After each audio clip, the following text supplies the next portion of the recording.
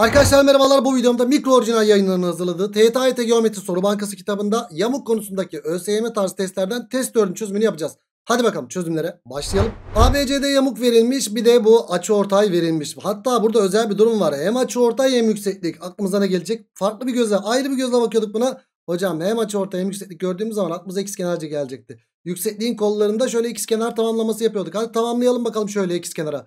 Hocam 10 sa burası da 10 olacak. Yani buraya ne kaldı? 2 kaldı. E, sonra x'i bulacağız. İster açıya dal. Hocam şu ikizkenardan dolayı alfa ise alfa. Yöndeşlikten dolayı burası da alfa. A 2 çıktı de. İstersen ikizkenar çıktı çünkü, çünkü burası. 2 oradan çıktı. İstersen de hocam şunlar birbirine paralel ya. Şöyle temel orantı benzerliği. 2 bölü tamamı 10 eşittir x bölü 10'a eşit değil midir? Evet buradan da cevabı yine 2 diye buluruz. Cevap Akçay çıktı birinci soruda. Geldik ki açı ortaylık görünce z hemen z hemen z. Hop nokta açısı. Hocam şu kenarla şu kenar eşit oldu. Eyvallah. E dik yamuk alanda isteniyor. Ne yapacağız? Hocam dik yamukta ne yapıyorsak her zaman onu yapacağız. Dikdörtgen oluşturduk. 2 ise 2 buraya 1 kaldı. Şuraya A dersem şu ikizkenarlığı boş boşuna mı bulduk? Hemen şuraya yazalım. A artı 1. Hocam 3 ise 3 A Pisagor. Hatta burada A artı 1'in karesi eşittir. 3'ün karesi artı A'nın karesi deyip işlem işlem işlemle A'ya ulaşırız. Ya da ya da ya da ya da 3 varsa büyük ihtimalle 3 4 5 üçgenidir. 3 ve 4 5 sağlandı mı sağlandı. A yerine 4 koyunca burası 5 yaptı. Yamuğun alanı isteniyor. Alt tabanımız toplamda 4 5 6. Üst tabanımız 2. Yüksekliğimiz de 3. Alt taban artı üst taban çarpı yükseklik bölü 2 bana sonucu verecektir. O zaman cevapta kaç yapıyor? 12 yapıyor. Yani ikinci soru Balıkesir oldu. Geldik 3'e. Bunun alanı isteniyor. Genelde açılar ve kenarlar işin içine girince böyle paralel kenar oluşturuyorduk ama burada sadece kenarlar verilmiş. Hiçbir şey yapamıyoruz. Yükseklik çizsek böyle yüksekliği bu bilgilerle bulabilir miyiz mesela? Bulamayız. O yüzden şöyle bir paralel kenar oluşturmayı yine deneyelim bakalım. Oluşturduğumuz zaman 5 ise 5, 6 ise 6. E tamamı 15'ti 10 kaldı buraya. A 6, 8, 10 üçgeninden burası 90 derece olur. E 90'ı bulduk. Sonrasında bu yüksekliği bulabilirsin. İşte 6 çarpı 8 bölü 2 10 çarpı h bölü 2 üçgenin alanını birbirine eşit ya. Oradan ya da hocam şu üçgenin alanı belli zaten. 6 çarpı 8 bölü 2 48 bölü 2'den 24. Geri kalanını da alan dağıtarak da yapabiliriz. 10'da kalan 24 ise C tepe noktasına göre hop şunu şöyle çizersem 5'te kalan da 12 mi yapar? Evet çünkü 2'ye 1 oran var. Alanda da 2'ye 1 oran olur. Hocam paralel kenar yarısı 12 ise diğer yarısı da 12'dir. Tüm alan kaç yapıyor o zaman arkadaşlar? 12, 12 ve 24'ün toplamı o da 48 yapıyor. Evet örnek 3 48 yani E-Devlet oldu. Geldik örnek 4'e. Doğrusal bir tel üzerinden uç noktaları A ve E olmak üzere 5 nokta aşağıdaki gibi işaretlenmiştir. Bu telin AB B noktası etrafında CEC DE D noktası etrafında belirtilen noktaların yönünde sırasıyla 115, 130 ve 50 derece döndürülecekmiş. Hadi döndürelim bakalım. Dur döndürüldüğünde A ile E noktası üst üste gelmiş. Hadi döndürelim. Şunu 115 derece döndürünce hop şuraya geldi değil mi? Evet hocam bu buraya geldi. Ve bu döndürme işine dikkat et. Bak döndürürken hocam 115 derece. Burada kaç 115 derece. Dikkat. Yani şurası 115 derece yaptı mı yaptı. Hatta buraya da 65 derece kaldı. Sonra devam edelim arkadaşlar. 130 derece CE'yi döndüreceğim. Hocam CE'yi döndürdüğüm zaman hop şuralara bir yerlere geldi. D noktası da şuraya bir yere geldi değil mi arkadaşım? Evet D noktası da buraya geldi. Bunu da 130 derece döndürdüm. 130 hatta burası kaç yaptı? 50 yaptı. Sonra da DE'yi de D noktası etrafında. Bak DE burada ama aslında şunu döndüreceğim. DE'yi D noktası etrafında döndürdüğümde bu buraya gelecekmiş. Nereye geliyormuş? En son A ile E üst üste geliyormuş. Sen buraya döndürdüğünde A buraya geldi ya. E de burada ya. Döndürdüğünde A ile E üst üste gelecekmiş. Tamam. Bu da kaç derece dönüyordu? 50 derece dönüyordu. Hocam zaten bak ne diyor? ABCD yamuğu. Yamuk oluşuyor. Bak yöndeş çıktı paralel çıktı. Gerçekten de yamuk çıktı karşımıza. Hatta burası kaç derece oldu? 130 derece oldu. E, hatta burayı da yazabiliriz. Neyse karşımıza şöyle bir ABCD yamuğu çıktı mı çıktı. ABCD. A, B, C ve D yamuğu çıktı. Ve burada kaç? 50 derece. Burada kaç? 65 derece. E, başka da bir şey yok. AB ile BC eşit diyor. AB ile BC eşitliğinden bahsedebilir miyiz arkadaşlar? Kesin ve net bir şekilde hayır öyle bir bilgi yok. Hani burada işlem yapsak yapsak şunu yapabiliriz. Hocam şuradan bir paralel kenar oluştursak yöndeşlikten dolayı 65 olur. 50 65 ise burası da 65 oldu. Sadece burada bir ikizkenarlık çıktı diyebiliriz. İşte e, AB ile BC, AB ile BC eşitliğinden bahsedebiliyor muyuz? Yok. Öyle bir şey yok. Kesinlikle yok. BC ile CD'ye bakıyoruz. BC ile CD yok. Zaten BC uzunluğu CD'den daha büyük. Bu da değil. AB ile CD diyor. AB ile CD ikizkenar yamuk değil ki bu da eşit değil. BC ile CE BC ile CE. Valla burada ABCD yamuğu için diyor bana. ABCD yamuğunda E noktası yok ki zaten arkadaşlar. Ha varsa bile şurası E noktası yaptı. Sen BC ile CE şunu şöyle çizince ikizkenar e, şu üçgen ikizkenar oluyor mu? Yok olmuyor. Burada kaçıyı nasıl parçaladığını da bilmiyoruz. Geçtik bunu da. BC uzunluğu şu BC uzunluğu diyor. AD ile DC'nin toplamı. Evet zaten burası C iken şurası C iken burası da C oldu. Ee, buraya da X diyelim. Bak burası da X. Gerçekten de BC uzunluğu. BC uzunluğu X artı C mi? Evet. AD uzunluğu ne? C artı DC uzunluğu ne? X. Gerçekten de eşitlik sağlandı. Yani cevap böylelikle Edremit yaptı. Dördüncü soruda. Geldik 5'e. Beşinci soruda ne diyor? Aynı boyutlara sahip dikdörtgen şeklinde farklı renkli iki cetvel. Evet şu şekilde iki cetvel var. Bir de böyle aynı boyutlara sahip değil mi? E o zaman tamam burada bir şeyler kullanacağım. Hocam aynı boyutlara sahipse bunlar renkleri farklı değil mi? Dikdörtgen şeklinde farklı renkli iki cetvel ABCD dikdörtgeni biçimde kağıt kenarı üzerine şekildeki gibi yerleştirildiğinde cetvellerin diğer kenarları tam olarak çakışmaktadır. Eyvallah. 7 ile 13 arası nedir? 5 değil 6 mı yapıyor? Arkadaş şuradaki uzunluk 6 birim. Şuradaki uzunluğun ne olduğunu biliyoruz biz. Buradaki uzunluğunda 21'den şey çıkart 3 çıkart 18 olduğunu biliyoruz. Şimdi neler yapmış burada? A ve D noktaları mavi renkli cetvel üzerinde denk geldiğinde 7 ve 13 iken 3 ve 21 diye tanımlamış burada da. ABCD dörtgenin mavi renkli cetvel altında kalan kısmının şu mavi renkli cetvel altında kalan kısmının alanı M. Yeşil renkli alanda Y diye verilmiş. Ne bize bizden ne isteniyor? M bölü Y oranı nedir diye soruluyor. E ne yapacağız arkadaşlar? Biz tamamıyla şuraya yoğunlaşacağız arkadaşlar. Şuradaki yamuğa yoğunlaşacağız. E hocam bunlar aynı cetvel değil mi? Sadece farklı renkte. E şunlar birbirine eşitse bak şunlar birbirine eşitse şunlar da birbirine eşit değil midir? Evet bu orta taban çizgisi oldu. E 18 artı 6 24 bölü 2'ye orta tabandan dolayı burayı bulabilirim ben. 24 bölü 2 yani burası 12 çıktı. Şimdi benden M bölü Y oranı isteniyor. Normalde şöyle bir şey var. Şu mavi alanın yeşil alanı olanı kareleri farkı bölü kareleri farkı şeklinde çıkıyor arkadaşlar. İsteyen buradan yapsın. Kareleri farkı bölü kareleri farkı bize oradaki alanlar oranını verir. Ya da hocam nasıl yapabiliriz? Şurada çizeyim ben sana küçüğünü çizeyim şöyle. Hocam burası 12 buranın 6 buranın da 18 olduğunu biliyoruz ya. Alanlarda bütünsel lazım ya bize bu alanlar. O zaman yukarı doğru tamamlıyorum. Normalde içeri paralel çizerim ama alanı bölüyorum. Nasıl böleceğini bilmediğim için yukarı doğru yaptım. Hocam şurada 6 bölü 12 oran var. 6 bölü 12 dediğimiz nedir arkadaşlar? 6 bölü 12 aslında ne oluyor? Ee, 1 bölü 2 yapıyor. Ama sadeleştirelim. 6 bölü 12 1 bölü 2 yapıyor. 1 bölü 2'nin karesi kaç yapıyor? 1 bölü 4 yapıyor. E, benzerlik alan ilişkisinden 1 bölü 4. Yani burası A iken tamamı 4A. Buraya 3A mı kaldı? Evet. E şimdi 6 ve 18'e bakacak olursak benzerlik oranı büyük üçgende uyguluyorum. 6 bölü 18. 6 bölü 18 nedir? Hocam bu da 1 bölü 3 yapıyor. Karesi nedir o zaman? 1 bölü 9.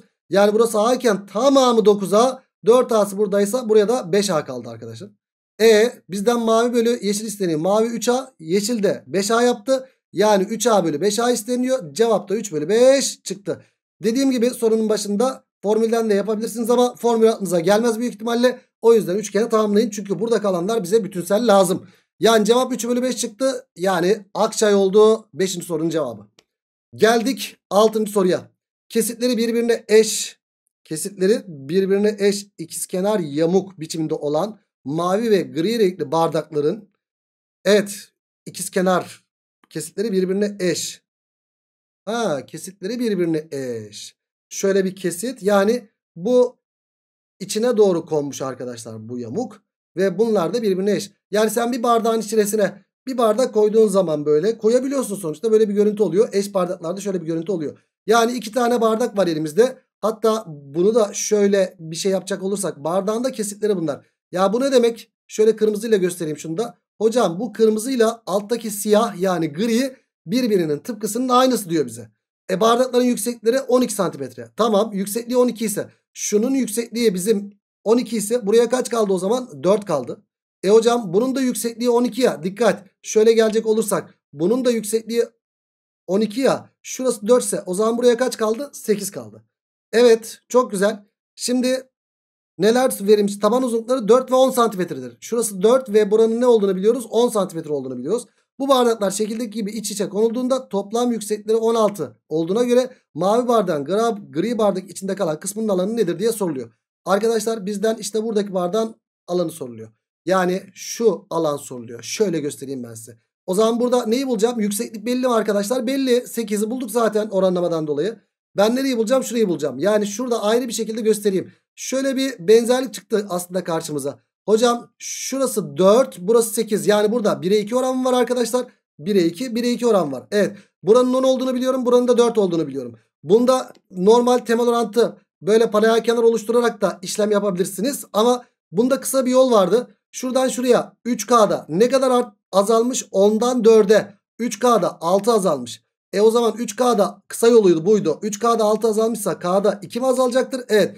Buradan buraya K'da 2 azalacak. O zaman 10'dan buraya kaç kalır? 8 kalır. Yani biz burayı kaç buluruz? 8 buluruz. E şuradaki yamuğun alanı artık çıktı mı çıktı. Alt taban ve üst tabanın toplamı 12 artı hatta 8 artı 4 yazayım şuraya. Çarp yükseklik yüksekliğimiz de 8 böl 2 bize alanı verecektir. Bunlar bunlar sadeleşti 4. 4 kere 12 kaç yapıyor? 48 yapıyor. Çok güzel bir soru bu arada arkadaşlar. 6. soru Edremit oldu. Geldik 7. soruya. 4 eş dik yamuğun yukarıdaki gibi birleştirilmesiyle bak eş dik yamuk bunlar. Hocam dik yamuklarda şöyle 90 derecede bir yerleştirelim. Şurası da 90 derece. Burası da burası da burası da. Şimdi eş yamuklarda eşit kenarlıkları mutlaka mutlaka göster.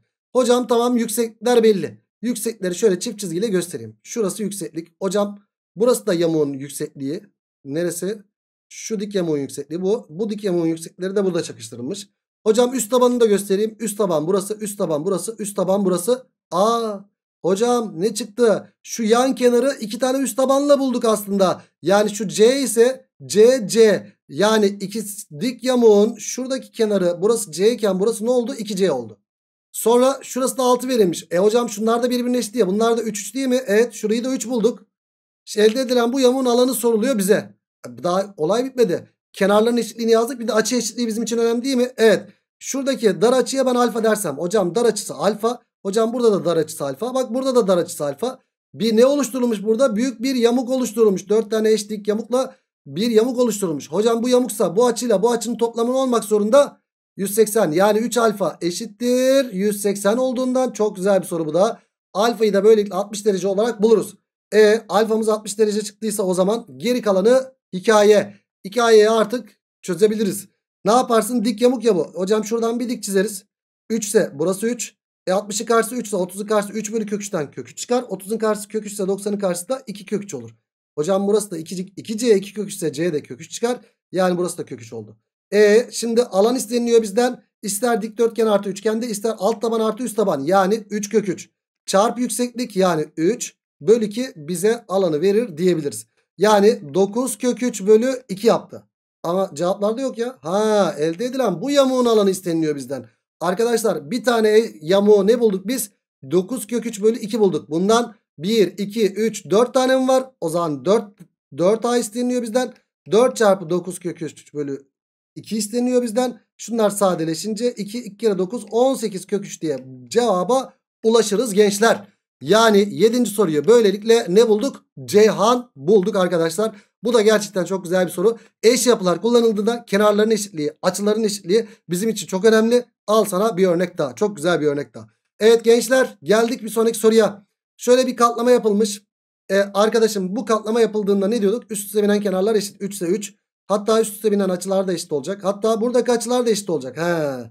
Aa bak açı ortaylık var. Z'den dolayı burası da çizgi açısı yaptı mı? Yaptı. E hocam ne çıktı o zaman burada? Bak çizgiye çizgi. İkiz kenar çıktı. A dersem A artı 3 ise burası da A artı 3 mü oldu? Evet. Aynı katlamayı böyle yapmışım. Hocam 3 ise burası da 3.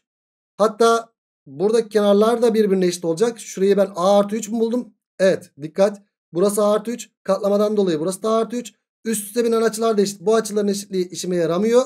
Ama dikkat et şu açılar da eşit. Bak şunlar paralel ya. Z'ye dikkat. E, Z'ye dikkat ettiğin zaman ne geldi o zaman? Şöyle hocam burası da çift çizgi açısı yaptı. Bak çift çizgiye çift çizgi. Yani şu ve şu da birbirine eşit oldu. E o zaman biz ne diyeceğiz? Buraya bir B diyecek olursak B artı 3 ise burası da B artı 3 mü? Hayır. B demeyelim. Arkadaş burası A artı 3 bulmamış mıydık biraz önce? Evet. Burası A artı 3 ya. E, burası A artı 3 ise bu kenarla bu kenar eşitse burası da A artı 3 olacak. Yani buraya da A mı kaldı? Evet. Yani dikkat et. A artı 3, A artı 3, A artı 3, 3 oldu. Şimdi bana ne vermiş? Çevre uzunluğu 42. O zaman 1, 2, 3 tane artı 3. Yani 3A artı 9 artı bir de burada 3 var. A artı 3 A artı 3 A artı 3 artı 3. Neye eşit oluyormuş? 42'ye eşit oluyormuş. Hocam bu 12 yaptı. 9 3 daha 12 42'den çıkınca 3A eşittir 30 yaptı. A'yı da böylelikle 10 mu bulduk? Evet.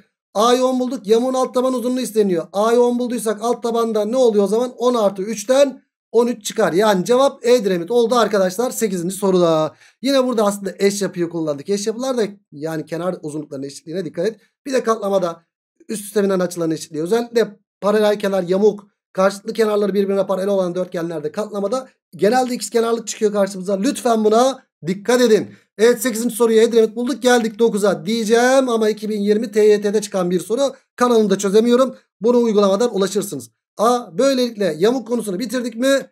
Bitirdik. O zaman ne diyoruz? Bir sonraki konuda sanırım paralel kenar olması lazım. Paralel kenar konusunda görüşmek dileğiyle kendinize iyi bakın. Hoşçakalın.